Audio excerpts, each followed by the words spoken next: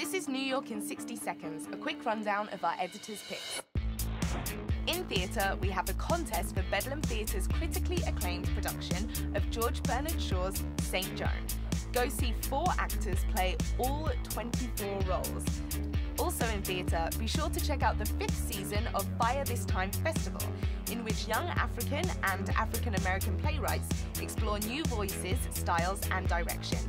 It includes six amazing new 10 minute plays, happy hour readings, an open mic hosted by playwright Dominique Morisseau, and Camille Darby's full length play, Lord's Resistance.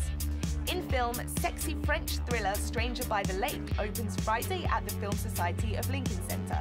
Check out our review below. In comedy, go see Hannibal Buress at Brooklyn's Knitting Factory on Sunday. It's completely free, so why not?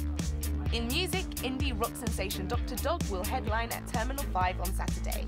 And for a bit of southern comfort this January, head to the Beer, Bourbon and Barbecue Festival this Saturday. For information on these events, our contests, and more, check out our website. This is Chloe Campbell. Have an entertaining week.